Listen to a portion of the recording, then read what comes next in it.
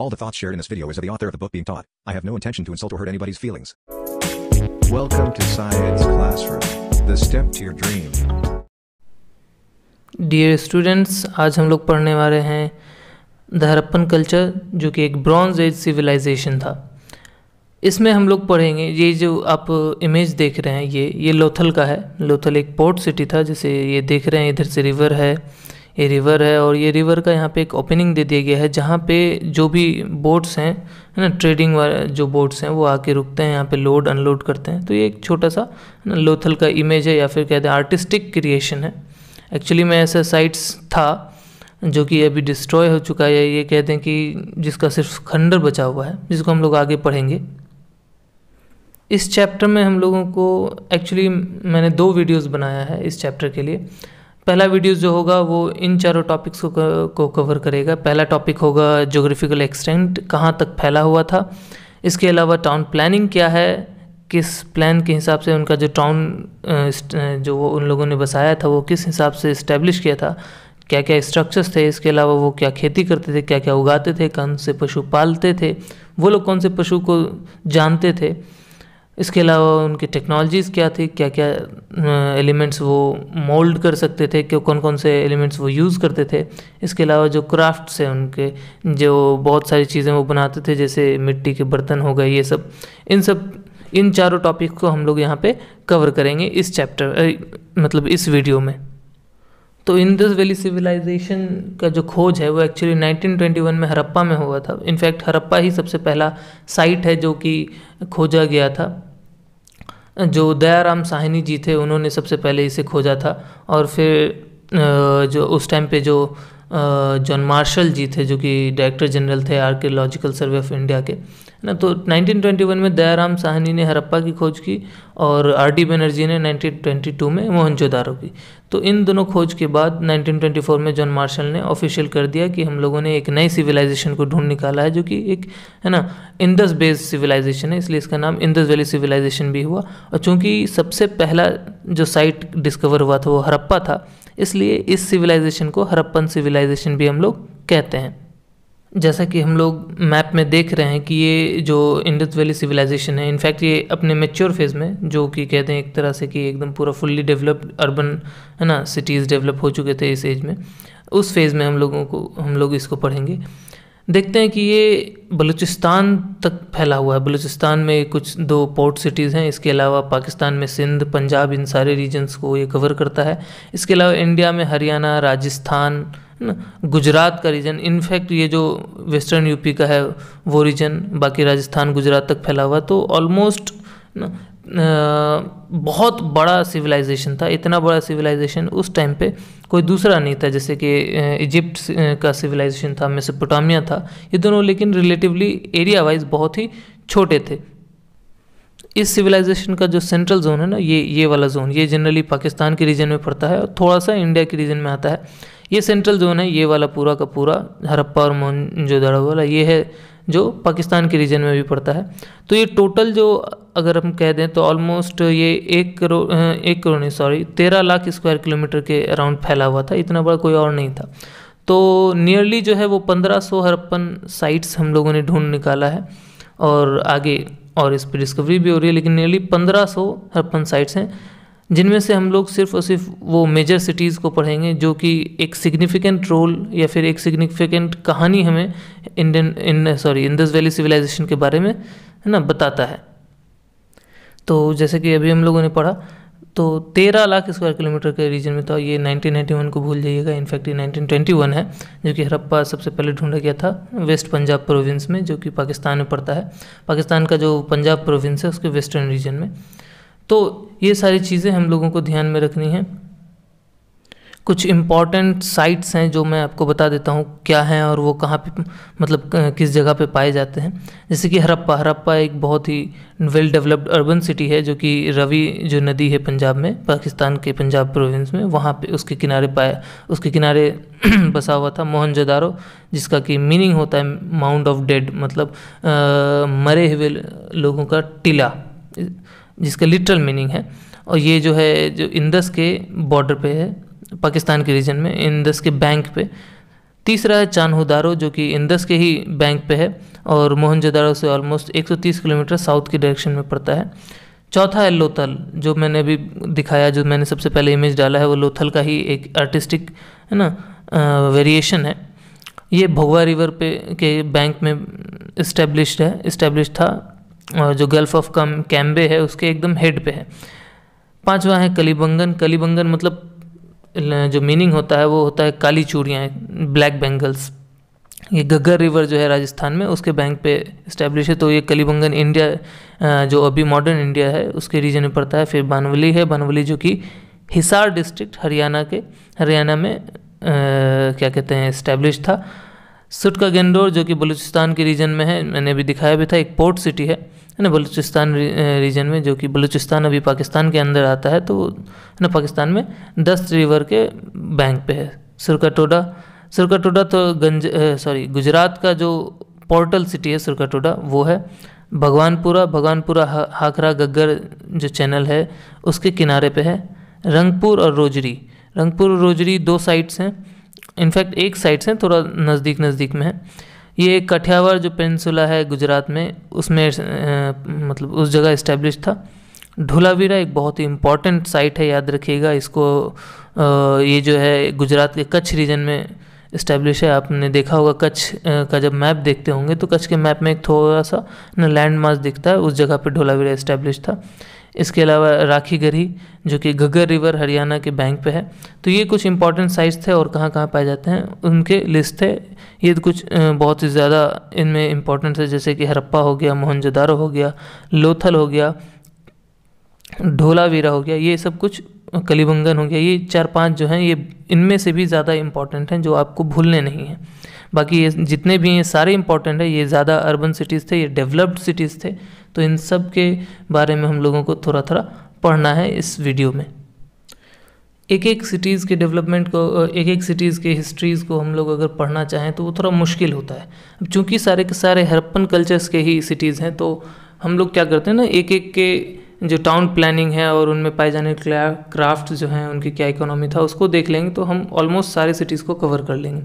तो स्टार्ट करते हैं, जैसे कि अभी हम लोग पढ़ेंगे टाउन प्लानिंग और स्ट्रक्चर्स क्या क्या पाए जाते थे। जैसे कि हरप्पा जो सिविलाइजेशन है, उनके जो अर्बन सिटीज़ थे, वो बहुत ही वेल प्लान थे।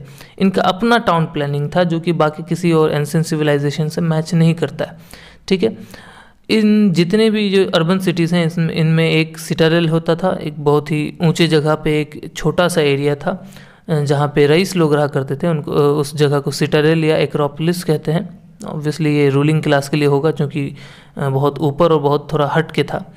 और नीचे सिटारेल के नीचे वाले रीजन में ना, ईंटे के बने बहुत सारे मकान थे और थोड़े क्राउडेड थे। इनफैक्ट हालाँकि वो भी वेल प्लान थे वो बहुत सारे ब्लॉक्स में बटे थे, ऐसे ऐसे ऐसे ऐसे करके, है ना ग्रिड सिस्टम में बीच में मकान ब्रिक हाउसेज तो ऑलमोस्ट जो लेंस थे वो 90 डिग्री पे एक दूसरे को काटते थे। तो इतना वेल प्लान मतलब इन लोगों का सिटी था, ये दिखाता है कि इन लोगों को ज्योमेट्री की बहुत अच्छी नॉलेज थी। ठीक है? तो एक ग्रिड सिस्टम ये लोग फॉलो करते हैं, जो कि बहुत सारे ब्लॉक्स में बांटता है। इन सारे सिटीज़ में सबसे ज़्यादा मोहनजोदारो था। रिच था। उस मोहनजोदारो में हम लोग अभी पढ़ेंगे कि बहुत अच्छे मतलब इंपॉर्टेंट इंपॉर्टेंट हम लोग स्ट्रक्चर्स देखेंगे।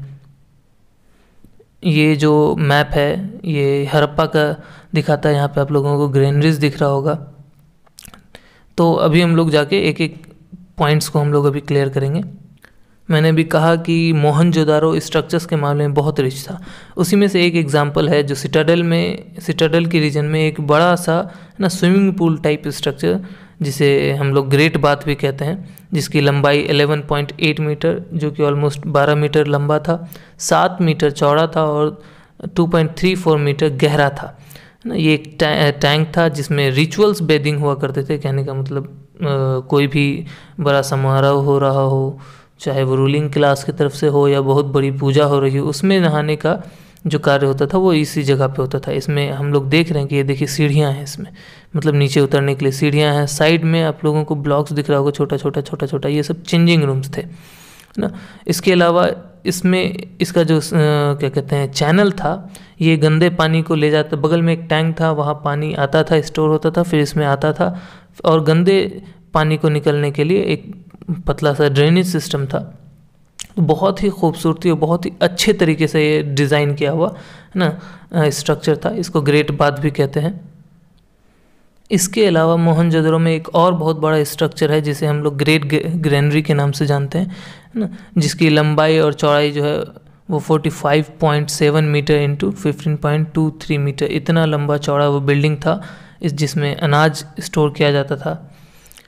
ठीक वैसा ही ग्रेनरी हम लोगों को हरप्पा में भी दिखता है, बस हरप्पा में हम लोगों को दो रोज़ में दिखता है, ये दिख रहा है। एक रो दो रो और इसमें एक, दो, तीन, चार, पाँच छः छः ग्रेनरीज एक साइड छः ग्रेनरीज एक साइड इस टाइप का स्ट्रक्चर था। इसका जो एक एक ग्रेनरी है, वो थोड़ा छोटा था। Fifteen into two into six point zero nine metre. इसकी लंबाई चौड़ाई थी। और ऐसे छः थे। टोटल एक साइड और एक साइड छः पैरेलली ग्रेनरीज छोटे छोटे ग्रेनरीज वहाँ पे बनाए हुए थे। लेकिन इन सबको जब हम लोग ओवरऑल एरिया निकालते हैं तो ऑलमोस्ट करीब करीब ग्रेट ग्रेनरी के करीब, है ना वैल्यू आता है, लेकिन फिर भी ग्रेट ग्रेनरी इसके मुकाबले वो सिंगल स्ट्रक्चर था, वो मोहनजोदड़ो में था, और ये जो मैंने मैप में भी समझाया है, जो फिगर मैंने दिखाया है, ये हरप्पा का है। तो ग्रेनरी एक बहुत ही इंपॉर्टेंट स्ट्रक्चर्स था, किसी भी हरप्पन सिटीज़ जो अर्बन सिटीज़ थे वेल डेवलप सिटीज़ थे उसके।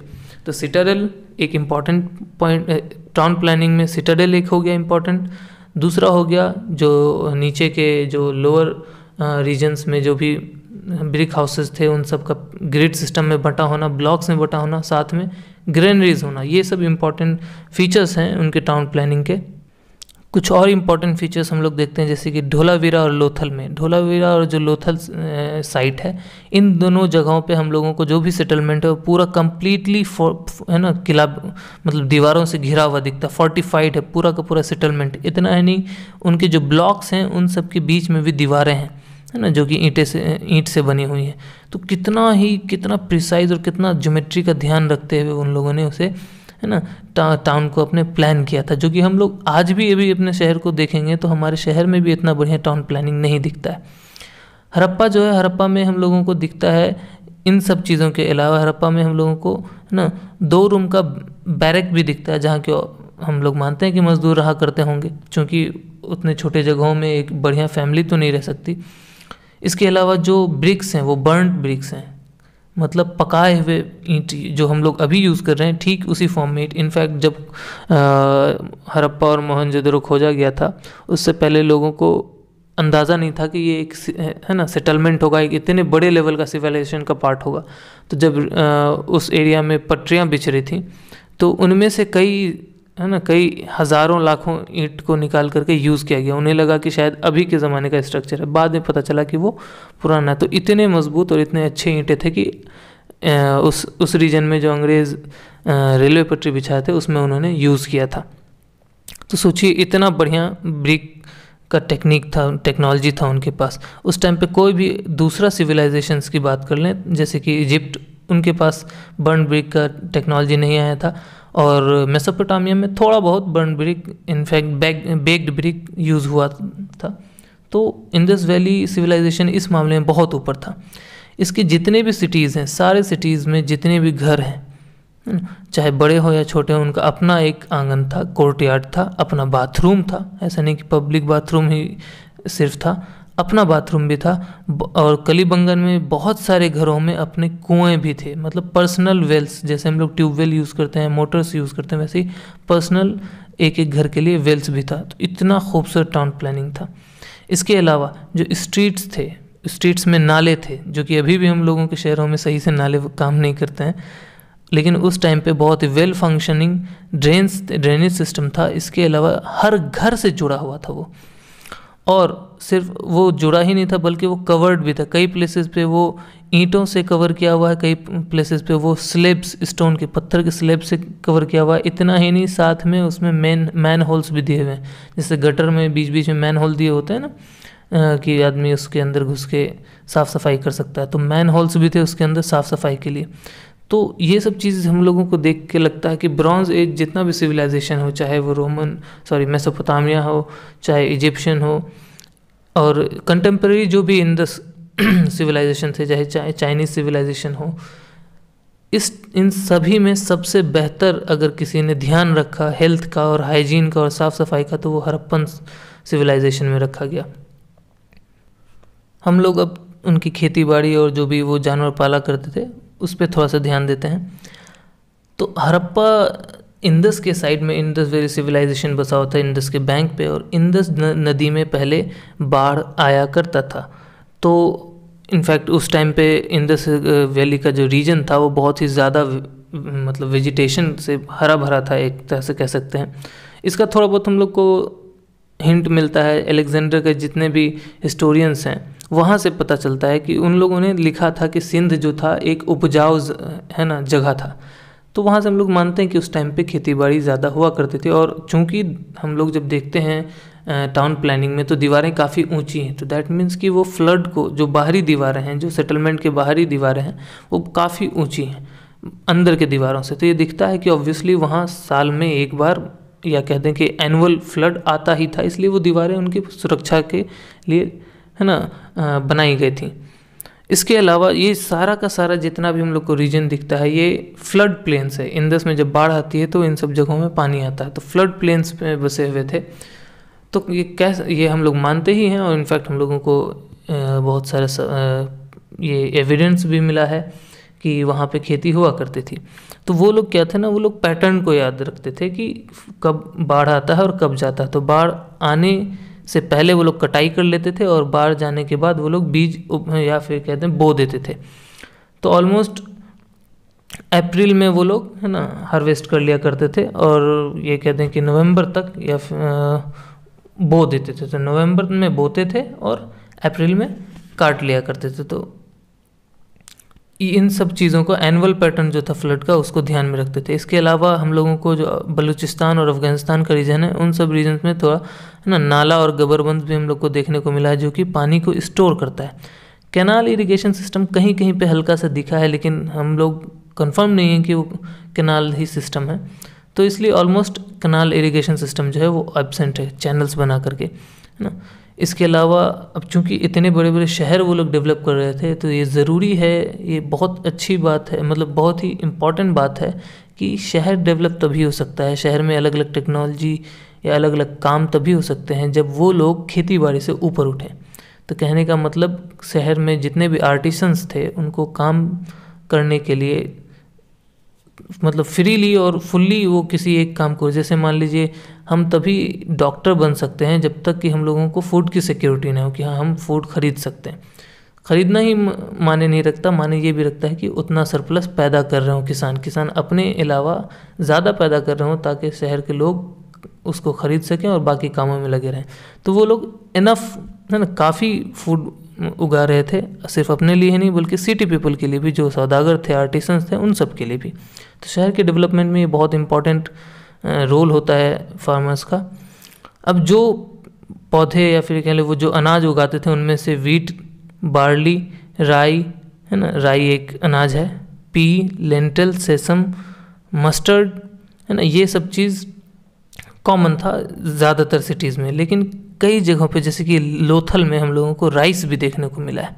तो इसका मतलब राइस बहुत पानी माँगता तो लोथल जो रीजन है, वो ऑब्वियसली मैंने अभी मैप में भी दिखाया कि वो न, मतलब नदी के साइड साइड और उसमें बहुत खूबसूरती से उन लोगों ने चैनल बना बना के है ना वहाँ पे इरिगेशन किया है। तो राइस का वहाँ पे उपजा हुआ है उपज हुआ है। इसके अलावा वो लोग जो इंडस वैली सिविलाइजेशन के पीपल हैं हरप्पन पीपल हैं वो सबसे पहले हैं जिन्होंने कॉटन उगाया है। और ये चीज़ हम लोगों को पता चलती है जब हम लोग ग्रीक जो स्क्रिप्चर्स पढ़ते हैं, वहाँ हम लोगों को देखने को मिलता है कि वो कॉटन नहीं कहते हैं, वो सिंदोन कहते हैं। और सिंदोन वर्ड आता है सिंध से मतलब सिंध में उगाए जाने वाला स्पेशल कोई चीज़ जिससे कपड़ा बनता है। तो ऑब्वियसली वो कॉटन ही था। तो हम, हरप्पन्स पहले थे जिन्होंने कॉटन उगाया था। और जो सीरियल थे, हम लोग चूँकि ग्रेनरीज देख चुके हैं तो ग्रेनरीज इतने बड़े बड़े ग्रेनरीज तभी बन सकते हैं जबकि वहाँ अनाज स्टोर किया जाता हो। और चूँकि हरप्पन के मेन सिटी के लोग तो नहीं उपज, उपजाते थे तो मतलब जो कंट्री साइड्स में जो भी फार्मर्स रहते थे, वो उपजाते थे और वो एज अ टैक्स कह दें, है ना उनसे रूलिंग क्लास वसूलते थे और उन ग्रेनरीज में रखते थे। और इसका ये दो तरीका हो सकता है टैक्स लेके वो स्टोर करने के बाद, या तो वो वेजेस जो भी वहाँ काम करते, करने वाले लोग थे, वो वेजेस उस तरीके से, है ना, अनाज दे दे के उनका पेमेंट किया करते थे? इसके अलावा कभी अकाल पड़ा या बाढ़ आ गया, उस, उन सब टाइम पे इमरजेंसी के टाइम पे वो इन ग्रेनेड से, जो टैक्स से कलेक्टेड अनाज इनमें जमा था, उनको यूज़ किया करते थे। जो जानवर वो पाला करते थे, उनमें से एक तो सबसे पहले वो जानवर बहुत बड़े लेवल पे पालते थे, क्योंकि उनको खेती में भी हेल्प चाहिए था, इसके अलावा सामान लाने ले जाने में हेल्प चाहिए था। तो जैसे कि खेती करने के लिए ऑक्सन हो गए, जो बैल हुए, भैंसें हो गई इसके अलावा गोट्स हो गए बकरियाँ है ना शीप्स पिग्स ये सब है ना वो लोग पालते थे। और कई जगहों पे बिल्लियों और आ, क्या कहते हैं कुत्तों का भी हम लोगों को निशान मिला है। तो वो लोग as a pet cats and dogs को भी पालते थे। गधों को खच्चरों को एसिस को कैमल्स को माल ढोने है ना जो भी अनाज लाना हो ले जाना हो माल ढोने के काम बीस्ट ऑफ़ बर्डन है ना के काम में यूज़ किया करते थे। थोड़ा बहुत घोड़ों का भी वहाँ पे ट्रेस हम लोगों को मिला है, लेकिन श्योर नहीं है कि वो बहुत बड़े अमाउंट में घोड़ा पाला करते थे।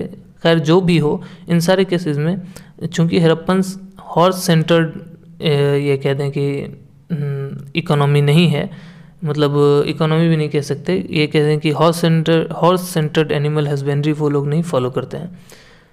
तो उतना फ़र्क भी नहीं पड़ता हॉर्सेस थे या नहीं थे, लेकिन वहाँ ज़्यादातर एसेज और कैमल्स यूज़ होते थे, बोझ। उठाने के लिए। इसके अलावा उन लोगों, वो लोग एलिफेंट्स को भी पालते थे। हालाँकि ये चीज़ हम लोगों को उस टाइम के किसी और सिविलाइजेशन जैसे कि मान लीजिए मान लीजिए इजिप्ट का जो सुमेरियन सिविलाइजेशन है, जो सुमेरियन सिटीज़ है, वहाँ पे हम लोगों को ये नहीं देख, देखने को मिलता है कि वो एलिफेंट्स पालते थे। ऑलमोस्ट जो हरप्पा में जो भी अनाज उगता है, जो भी जानवर पाले जा रहे हैं, वो सब वो पाले हैं, वो सारे अनाज वो उगाए हैं, लेकिन एलिफेंट्स सिर्फ़ और सिर्फ़ एलिफेंट्स जो है, वो हमारे लिए एक तरह से कह सकते हैं कि सिर्फ़ हरप्पन्स का पहचान है कि हरप्पन्स में इन सारी चीज़ों के अलावा एलिफेंट्स भी पाला, है ना, पाले जाते थे। इसके अलावा हरप्पन्स राइनोसोरस को भी पहचानते थे अच्छे से क्योंकि सील्स पे, बहुत सारी जगहों पे सील्स पे, है ना राइनोसोरस का भी इमेज हम लोगों को देखने को मिला है। चूँकि इंदस वैली सिविलाइजेशन या हरप्पन सिविलाइजेशन एक ब्रॉन्ज के यूज़ पे बेस्ड सिविलाइजेशन है। ब्रॉन्ज ब्रॉन्ज एज सिविलाइजेशन था। तो ब्रॉन्ज स्मिथ्स जो ब्रॉन्ज बनाने वाले जो कारीगर हुआ करते होंगे वो बहुत ही इंपॉर्टेंट क्लास होते होंगे इन सिटीज़ में जो कि ब्रॉन्ज से बने हुए टूल्स वेपन्स टूल्स कहने का मतलब हो गया चाकू छोड़ा है ना? वेपन्स भाला है ना? ये सब बन, बनाते होंगे। इसके अलावा उसकी मूर्तियाँ बनाते होंगे, उसके बर्तन बनाते होंगे ब्रॉन्ज के। तो ब्रॉन्ज स्मिथ एक इंपॉर्टेंट क्लास था। इसके अलावा एक चीज़ ध्यान देते हैं कि हम मतलब जो हरप्पन के जो ब्रॉन्ज के मिले हुए आर्टिफैक्ट हैं, जो भी सामान है, उनमें हम लोगों को टिन का परसेंटेज हमको पता है ब्रॉन्ज क्या है। ब्रॉन्ज एक एलॉय है, एक मिक्सचर है कॉपर और टिन का, है ना? तो जो कि कॉपर से ज़्यादा मज़बूत हो जाता है। तो यहाँ हरप्पन का जो भी ब्रॉन्ज का बना हुआ सामान है, उनमें टिन का परसेंटेज बहुत कम दिखता है। ये दिख, इसका ये इंडिकेट करता है कि इंडिया में उस टाइम पे भी टिन बहुत कम ही मिला करते थे। कॉपर जो है, वो राजस्थान के खेतरी बेल्ट से आ जाता होगा, खेतरी कॉपर माइन से। और थोड़ा बहुत, और जो टिन है, वो इंडिया में चूँकि था नहीं तो थोड़ा बहुत अफ़गानिस्तान के रीजन से और थोड़ा बहुत बलूचिस्तान के रीजन से टिन आता होगा, इसलिए टिन का परसेंटेज कम है, चूँकि टिन बहुत ज़्यादा नहीं था। इसके अलावा हम लोगों को वहाँ पे कुछ कपड़े भी मिले हैं कपड़ों के टुकड़े भी मिले हैं खिलौने से चिपके हुए। और तो हम लोग पत, हम लोग को पता चला कि वहाँ कपड़े हैं ना ऊल के भी बनते थे और कॉटन के भी। ऊल जो ऑब्वियसली भेड़ के उससे बनता है उनसे बने हुए कपड़े भी रहते थे। इसके अलावा हम लोग ईंटे के ईंट के इतने बड़े बड़े स्ट्रक्चर्स देखे हैं तो इसका मतलब जो brick laying sorry brick making होगा ईंटा बनाने के लिए समझ लीजिए, जो भी स्ट्रक्चर्स होगा वो और उन, उनमें काम करने वाले मज़दूर भी एक इंपॉर्टेंट है ना रोल निभाते होंगे। इसके अलावा चूँकि सिर्फ़ और सिर्फ़ ईंटा बनाने, ईंटा जोड़ना भी इंपॉर्टेंट है तो इसका मतलब जो भी मज़दूर थे लेबर थे, इसके अलावा जो ईंटा जोड़ते हैं, जिनको मिस्त्री कहते हैं, राजमिस्त्री, इंग्लिश में उनको मैसन्स कहते हैं, वो भी एक, है ना इंपॉर्टेंट क्लास था वहाँ पे। हम लोग इमेजेस में, बहुत सारे खिलौने में नाव भी देखते हैं तो इसका मतलब वहाँ नाव भी यूज़ होता था और नाव बनना भी, नाव बनाने वाला भी एक इंपॉर्टेंट क्लास होता होगा। इसके अलावा हम लोगों को बहुत सारा सील मिला है। सील जो कि सामान की पहचान के लिए होता है।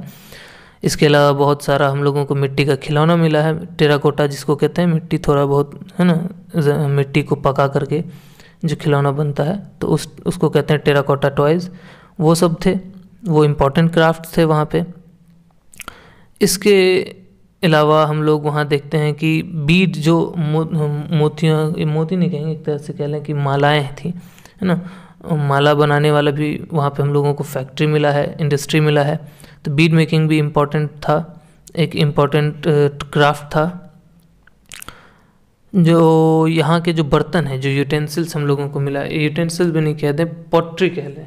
जो भी पॉट्स हम लोग को मिले हैं, उनका एक अलग ही कह सकते हैं कि डिज़ाइन है क्या बहुत ही अलग ही पहचान में आ जाता है कि हरप्पा का है। क्योंकि ये शाइनी होते हैं ग्लॉसी होते हैं, चमकदार होते हैं, इसके अलावा इनमें जो है डिज़ाइंस हैं, वो जनरली ट्रीज़ के हैं ना पेड़ पौधे इंसान, इन सब के डिज़ाइन से ये हम लोगों को ये देखिए, है ना? तो ये अलग ही पहचान है। इसके अलावा वो लोग वेट भी, जो वेइंग के टेक्निक हैं कि कितना सामान किस हिसाब से देना है, वो भी यूज़ किए हैं और इनके जो वेट्स थे वो सिक्सटीन के ही मल्टीपल्स में यूज़ किए गए हैं। सोलह, बत्तीस, चौंसठ, है ना sixteen thirty two sixty four और एक बहुत ही इंपॉर्टेंट चीज़ आप लोग देखिएगा कि हम लोग अभी भी सोलह को यूज़ करते हैं। सोलह आने बराबर एक रुपया होता है। आठ आना फिफ्टी पैसा हुआ करता था, चार आना पच्चीस पैसा हुआ करता था। तो ये जो सोलह का जो गणित है ना, ये हम लोग समझ लीजिए कि अभी तक हम में है। और हम लोग चूँकि इंडस में भी देखते हैं, हम लोगों को मेजरिंग यूनिट्स जो मिले हैं, वो सिक्सटीन के रेशियोज में मिले हैं। और जो लेंथ का नापने वाला जो स्टिक्स है, वो भी हम लोगों को मिला है। कॉपर का बना हुआ लंबा लंबा स्टिक्स और स्टिक्स में मार्क्स किए हुए हैं कि ये एक यूनिट हुआ, ये दो यूनिट हुआ। ठीक है तो वो भी मिला है। तो मतलब उन लोगों को नापने का भी ज्ञान था। बहुत उन्नत एक तरह से कहते हैं, बहुत डेवलप्ड है ना कल्चर था ये, हरप्पा का कल्चर ये देखिए रहा मेजरिंग यूनिट्स जिसको हम लोग अभी कह सकते हैं बटखरा, जो लोहे का, जो केजी का यूनिट सब आता है, जिससे हम लोग सब्ज़ी या कोई भी चीज़ नापते हैं। ये उनका है ना मेजरिंग यूनिट्स ये सिक्सटीन के रेशियो में होता था। हरप्पन सिविलाइजेशन में एक बहुत ही इंपॉर्टेंट क्राफ्ट है, वो है सील मेकिंग का। सील्स जो हैं, बहुत इंपॉर्टेंट या ये कहते हैं कि ग्रेटेस्ट आर्टिस्टिक क्रिएशन है हरप्पन सिविलाइजेशन का। ये जो सील आपको यहाँ पे दिख रहा है, इसमें बुल है और साथ में कुछ इंस्क्रिप्शंस हैं। तो ऑलमोस्ट 2000 हम लोगों को सील्स मिला है, जिनमें से ज़्यादातर में छोटे छोटे छोटे छोटे इंस्क्रिप्शंस हैं। क्या लिखा गया पता नहीं। उसके बारे में भी हम लोग डिस्कस करेंगे। वो नेक्स्ट वीडियो में होगा। इसके अलावा उसमें इमेजेस होते थे, जैसे कि वन हॉर्न बुल एक सिंग एक सिंघा जिसको कह सकते हैं, एक सिंघा बैल, है ना? इसके अलावा भैंस का टाइगर का राइनोसरस का गोट का एलिफेंट्स का, यहाँ तक कि ह्यूमंस का भी है। क्या कहते हैं इमेजेस हैं उसके ऊपर गढ़े हुए। इसके अलावा जो आर्टिस्ट से थे, जो भी आर्टिस्ट थे वहाँ पे, वो ब्रॉन्ज के मूर्तियाँ बनाते थे, बहुत खूबसूरत खूबसूरत मूर्तियाँ बनाते थे, बहुत ही अच्छी मूर्तियाँ बनाते थे। जैसे हम लोग अभी पहले वाले फ़ोटो में हम लोग देख पहले वाले स्लाइड में हम लोग देख चुके हैं कि एक डांसर गर्ल का, है ना ब्रॉन्ज का स्टैचू है, जिसमें से उसके गले में माला है और हाथों में चूड़ियाँ टाइप से बनी हुई हैं। तो वो बहुत ही अच्छे कलाकार भी थे इमेज मेकिंग में। इसके अलावा टेराकोटा का बहुत सारा खिलौना भी है, जो थंबनेल में मैंने डाला भी है है ना? वो म्यूज़ियम का है साइंस म्यूज़ियम का है। तो वो टेराकोटा के बने हुए खिलौने भी थे। खिलौने थोड़े रफ़ और बहुत ही परफेक्टली डिज़ाइन नहीं थे। ये दिखाता है कि जो फिगर्स थे, जो मूर्तियाँ थीं, वो चाहे वर्शिप के लिए यूज़ होती हों, या फिर चाहे खेलने के लिए यूज़ होती हों एज ए टॉयज़ यूज़ होती हों, या फिर वर्शिप के लिए यूज़ होती हों, लेकिन उन इमेजेस में या उन मूर्तियों में एक चीज़ था कि वो मूर्तियाँ बहुत ही खूबसूरती के साथ बनाई हुई थी।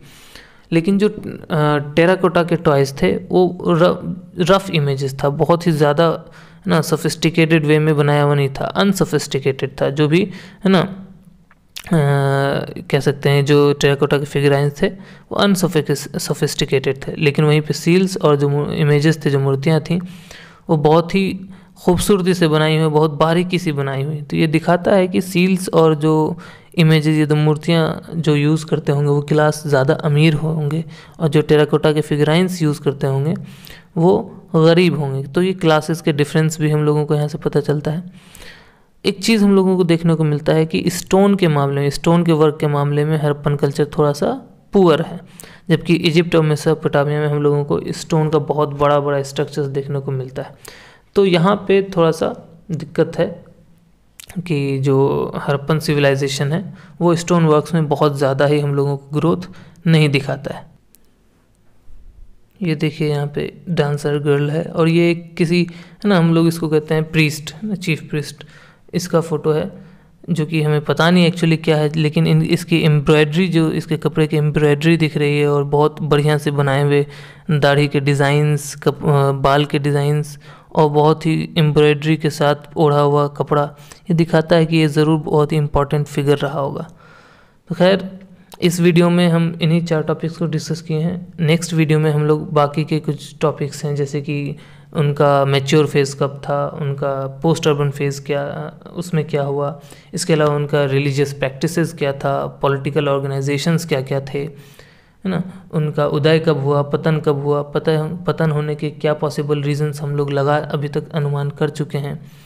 क्या उसमें हम लोगों को ठोस सबूत मिला? इन सब चीज़ों को हम लोग नेक्स्ट वीडियो में पढ़ेंगे। और क्या क्या इंस्क्रिप्शंस थे वो भी और इंस्क्रिप्शन डिसिफर क्यों नहीं हो पा रहे हैं? या फिर क्या पॉसिबिलिटी है, वो सबको भी हम लोग नेक्स्ट वीडियो में देखेंगे। थैंक्स आई होप आप लोगों को ये समझ में आया हो। अगले वीडियो जल्दी ही आएगी।